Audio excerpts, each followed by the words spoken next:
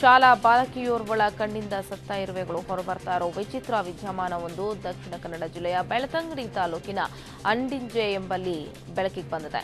ಇಲ್ಲಿನ ಅಮ್ಮು ಆಚಾರಿ ಮತ್ತು ಚಂಪಾವತಿ ದಂಪತಿ ಪುತ್ರಿಯ ಐದನೇ ತರಗತಿ ವಿದ್ಯಾರ್ಥಿನಿ ಅಶ್ವಿನಿ ಎಂಬಾಕೆಯ ಎಡಗಣ್ಣಿನ ಕೆಳಭಾಗದಿಂದ ಪ್ರತಿದಿನ ಹಲವು ಬಾರಿ ಸತ್ತ ಇರುವೆಗಳು ಉದುರುತ್ತಾ ಇದ್ದು, ಹೆತ್ತವರಲ್ಲಿ ಆತಂಕ ಸೃಷ್ಟಿಸಿದೆ.